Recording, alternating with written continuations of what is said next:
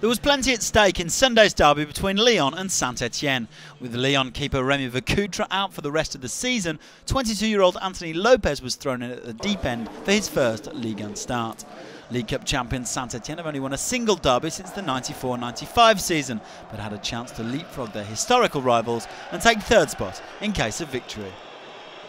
Well, they had an early chance as Brandao pulled across for Pierre-Emerick Aubameyang, but he couldn't put enough power on this attempt to trouble Lopes.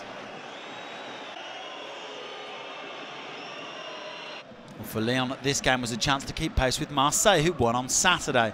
And they could have taken the lead when Clement Grenier crossed in for Lisandro Lopez. But Stéphane Ruffier turned the ball behind brilliantly to keep the scores level.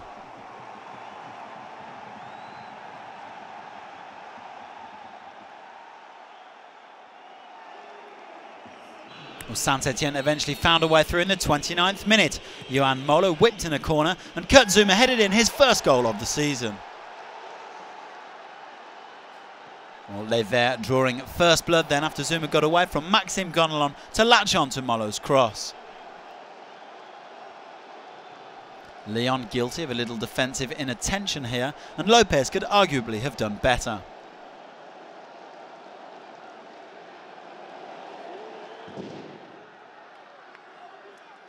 Saint-Etienne taking a 1-0 lead into the break then. Remy Garde and Christophe Galtier leading their men out at the start of the second half.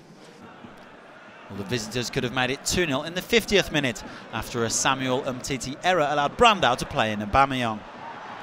The Gabonese international pulling the ball just wide to the relief of the home fans.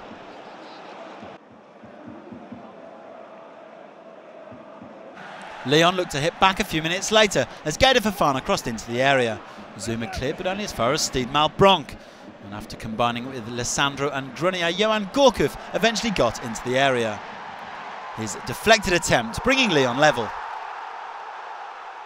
Well, Gourcuff hadn't scored since the opening day of the season, but broke through the Saint-Etienne lines brilliantly here. It was the unfortunate Zouma who put Les Verts 1-0 up, who made the deflection that got the better of Ruffier.